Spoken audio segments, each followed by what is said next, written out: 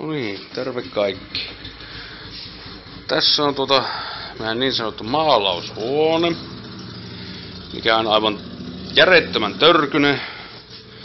Tuo konepeli minä vetasin tuossa vähän aikaisemmin, mutta siihen tuli muutama valuma, kun alkoi ruiskutemppuille. Oli ilmareikä tukousena, ei oikein säiliönsä ilma kulkenut oikein.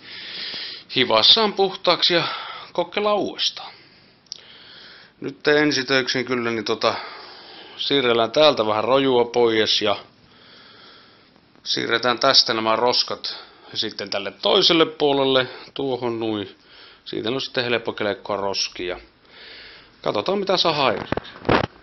No niin, nyt on siivouksia vähän tehty tässä ja on se huomattavasti siisti mitä aikaisemmin. Vielä pitää vaan ottaa vähän liuottimella lattia puhtaammaksi saa nämä pahimmat törkytahrat pois ja sitten laittaa vähän ruuveja tuonne seinille, niin saa lokasuoja ja muita roikkumaan ja siellä meillä häkkisen Mika vahtimiset, ei tehdä mitään tyhmyyksiä ja konepelti on tuolla piilossa suojassa, että siihen ei tule naarmuja enää ja se otetaan varmaan huomenna työlle hiontaan ja sitten vetäessään lopullinen maalipinta ja lakka päälle ja seuraavana aloitetaankin sitten tämä lokasuoja vähän se hivastaan pohojia siihen ja katsotaan tarviko pakkeloja ja sitten sävyä pintaan.